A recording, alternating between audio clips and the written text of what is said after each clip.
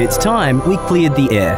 Gas is a fossil fuel, and it's a direct driver of climate change, releasing not just carbon dioxide, but vast amounts of methane too, which is a greenhouse gas that is often far worse. Gas isn't just costly for our climate, it's also tripled in price in recent years.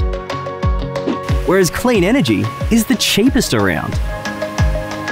Gas is unnecessary, it's dirty, dangerous, and it's burning a hole in all our pockets.